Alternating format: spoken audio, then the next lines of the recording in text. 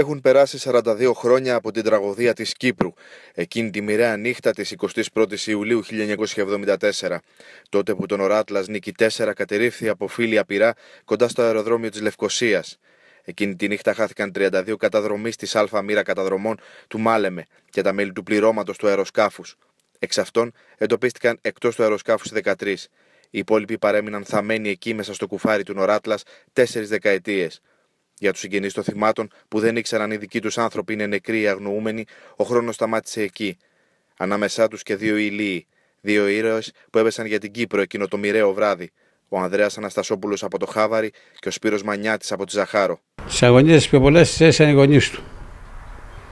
Δύσκολη εποχή τότε. Πολύ δύσκολη εποχή που τον περιμένανε μέχρι τα τελευταία τους. Μέχρι πέρσι, πρόπερση πέθανε η μάνα του. 102 χρονών και περίμενε πότε θα έρθει ο Σπύρος δεν είχαν βρει και τίποτα σημάδι και τίποτα αυτό ότι μία το λέγανε για αγνοούμενο, περμένανε ότι κάποτε θα τον εφέρνε, μία λέγανε είναι νεκρός και φύγανε με αυτό το παράπονο που δεν ξέρανε ούτε σίγουρα οι γέροι δεν μάθανε τελικά αν ήταν νεκρός ή...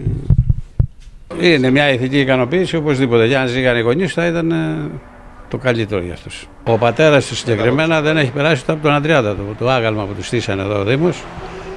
Δεν πήγε ποτέ να το δει. Σε εκδηλώσεις δηλαδή που κάνανε Δεν πήγε ποτέ ο πατέρας του, όχι. Ποτέ. Αρνιόταν να δεχτεί ότι το παιδί του. Αρνιόταν να δεχτεί. Αρνιόταν καταρχήν, αρνιόταν να δεχτεί να του στήσουν για το άγαλμα.